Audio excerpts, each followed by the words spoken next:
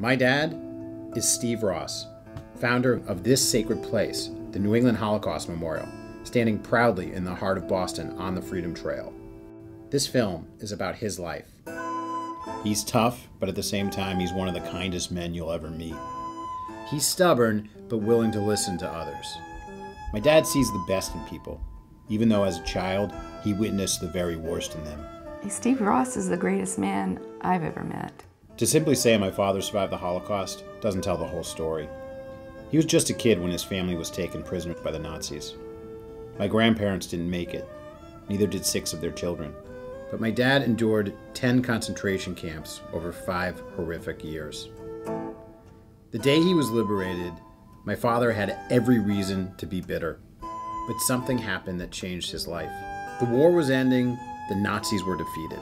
As my dad stumbled out of his prison, an American soldier showed him kindness for the first time. He gave my father his food, a hug, and a small cloth to wipe his face.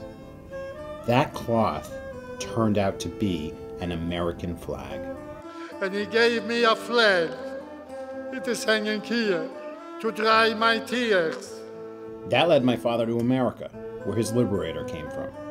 He wanted to thank him someday, if he could find him.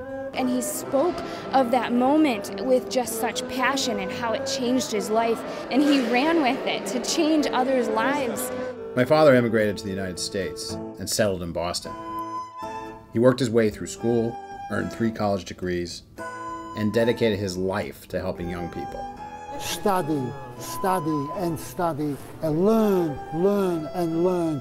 He's helped thousands of people, children and adults, steered kids from the streets to schools. You know, it reaches me, you know? My father never gives up, working tirelessly with at risk youth. Don't give up your education, stick with it. You have got so much to live for. Etched in Glass The Legacy of Steve Ross.